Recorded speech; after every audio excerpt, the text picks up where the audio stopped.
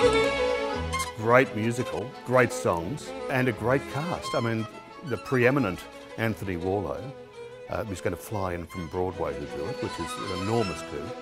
It's a tribute to life, and it's the, the settings change, the characters change, the accents change, uh, the songs change, but the tribute stays the same. It's, uh, and all tributes to life are wonderful and uplifting.